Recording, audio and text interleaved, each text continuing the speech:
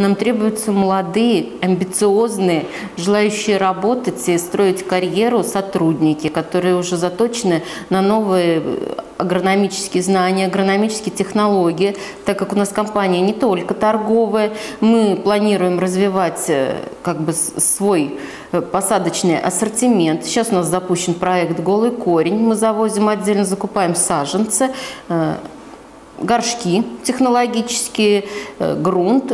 И уже на стадии производства делаем совершенно новое товарное скажем так, товарная, товарную группу, то есть из голого корня это растение превращается в полноценный саженец, уже э, приж, прижитый, уже адаптированный, часть уже у нас э, перезимовала, соответственно, нам нужен человек, который понимает, что вот в, этом, в этот горшок он сажает осину, а в другой красный дуб, чтобы он не перепутал, потому что цена, она полярна что осиный, что красный дуб.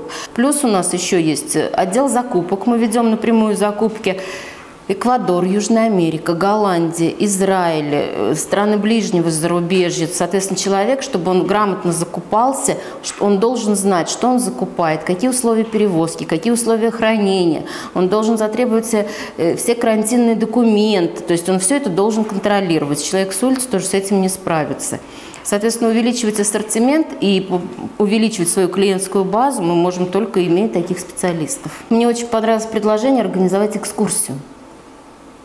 То есть именно э, профильные факультеты, возможно, может быть, кто-то и не профильный заинтересуется. Возможно, может быть, придет сотрудник животновод и скажет, у вас здесь только вот травы и всяких там сорняков, давайте мы кроликов здесь будем разводить.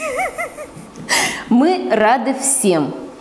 Особенно я хочу повториться, я говорила на презентации, то есть в выходные молодежь э, выставляла претензию на руководство нашей страны, что не дают им возможность роста. Наша компания как раз наоборот, мы ищем молодых, амбициозных, желающих развиваться, расти карьерно и как бы и профессионально. Может быть, кто-то реализует даже свои проекты в нашей компании. Такая возможность есть. Наше руководство всегда идет навстречу молодым специалистам.